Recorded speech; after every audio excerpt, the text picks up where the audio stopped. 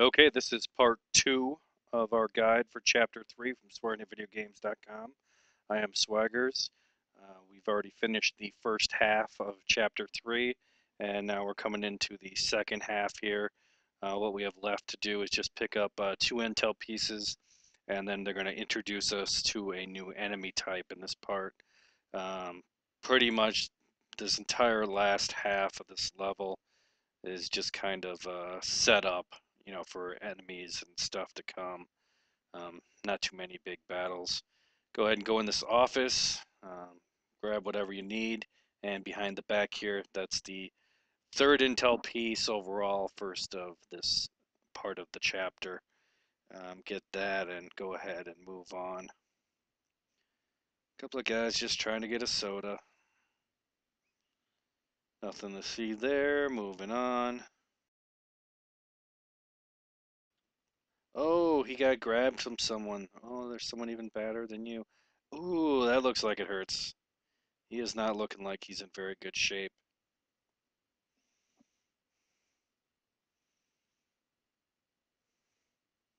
Get that ammo down there and then uh, go ahead and head to the store. He's that guy's already injured. A little small battle here.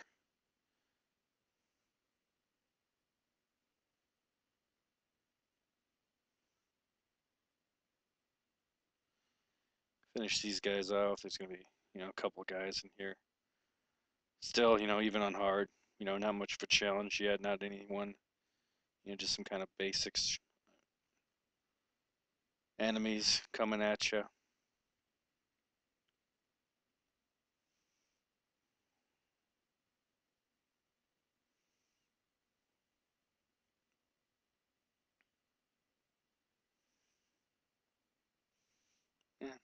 It didn't look like it was going to provide much cover anyway, those shells.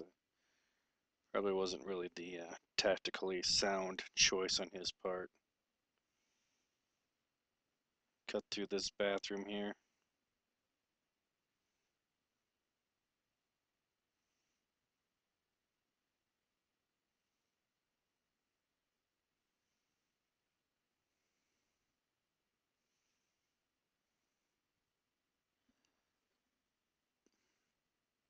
Okay, go through this uh, bloody closet. And then uh, in this, um, can't actually shoot them. There's there's the guy that you're going to be fighting a little bit later, a couple of those guys running along the window there. And uh, while you're looking at that, don't miss that intel piece there. I almost missed. You can, oh, yep, I saw it. Boom, and that's the uh, last one for chapter 3 awakening. So now all we got to do is uh, get through the chapter.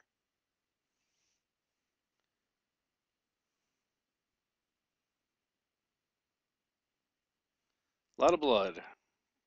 Someone definitely is not feeling good right now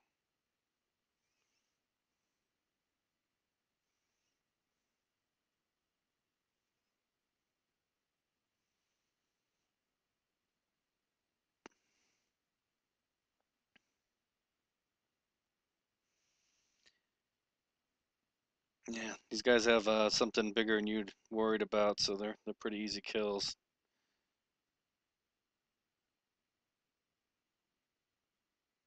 Oh, a little sneaky guy in the side room. Take him down.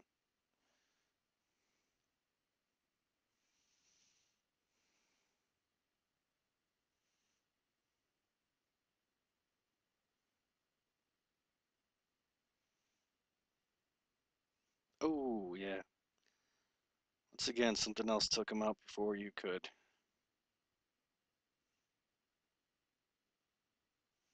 He does not look like he is in. He's not feeling very good there. Nothing back here.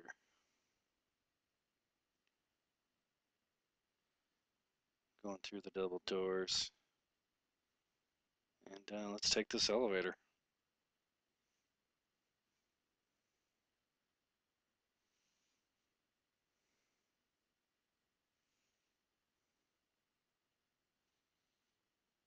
Get a little more of the story as we're riding this elevator down. Now you're going to want to head into this uh, side room here, get that health pack just in case you need it. grab all of this stuff. And then once you come up to this window, you're going to get a little scene. I skipped it, and the new guy's are going to pull you through here. A couple of these guys, the real secret to this is just make sure you use your slow-mo because um, they'll get up on you fast and just get your uh, back up to a corner so you can see them coming.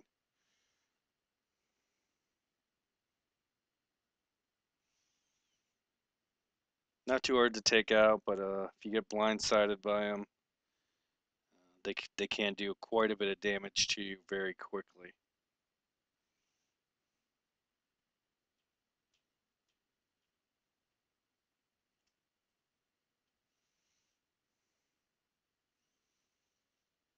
Couple more, just slowly, slowly crawling in on you.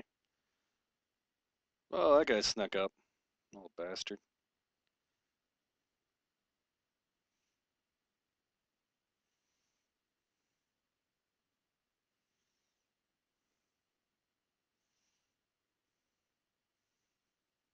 And I think we got them all. Fantastic. Come up here, grab the stuff here if you need it. And then, uh, oh, one more. He's dead.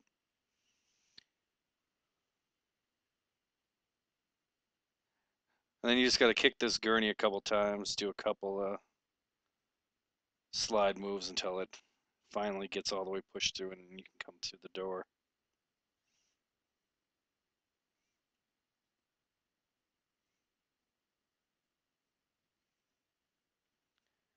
He does not look like he is having a very good day there. That that doesn't look good. I like though that uh you know, we're not going to pull him out.